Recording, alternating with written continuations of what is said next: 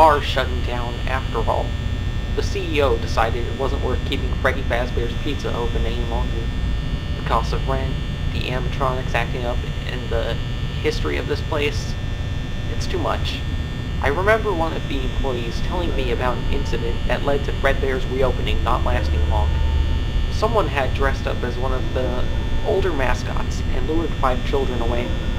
They were later reported missing, and as time went on, mucus, blood, and a horrible odor started coming from the animatronics.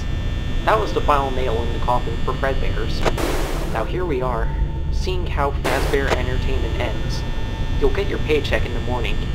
Oh, and thank you for your time here at Freddy Fazbear's Pizza.